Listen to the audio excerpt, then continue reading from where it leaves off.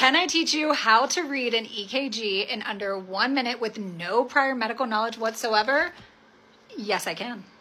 There are four chambers of the heart, two on top and two on the bottom.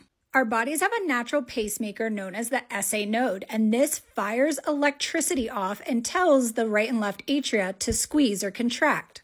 The atria contracting creates our first little wave known as the P wave. The contraction of these atria is actually pushing blood into the ventricles, but the ventricles don't know to squeeze or contract yet because the electricity is still holding here in this AV node. And it holds electricity because it's giving the atrias time to empty the blood into the ventricles. So the time of the AV node holding on to this electrical delay is known as our PR segment. And this PR interval is the start of when the electricity was fired the atria is contracted and the AV node holds it before the electricity is sent down into the ventricles and tells the ventricles to contract or push blood out of the heart. And this is known as that giant wave we see on the paper known as our QRS complex. This little segment here is the ST segment where the ventricles are recovering from this big contraction. And the last little wave is this T wave. And it's basically when the ventricles are releasing energy and they're just getting ready to do all of this again.